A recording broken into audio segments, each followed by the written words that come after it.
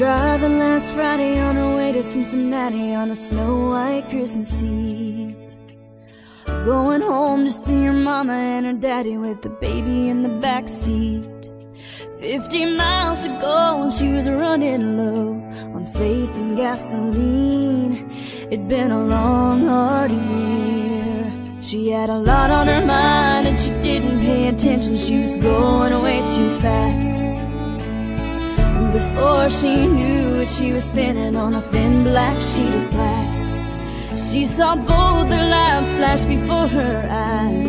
She didn't even have time to cry. She was so scared.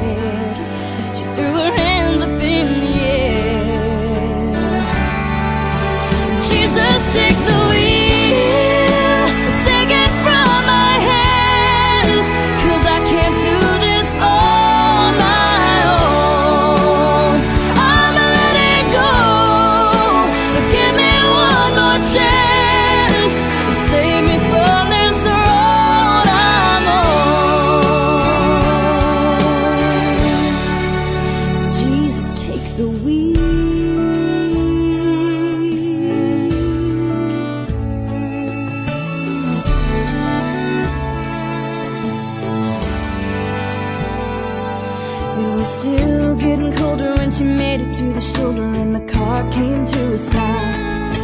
She cried when she saw that baby in the backseat sleeping like a rock.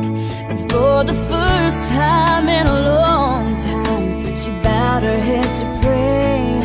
She said, I'm sorry for the way I've been living my life. I know I've got to change. So from now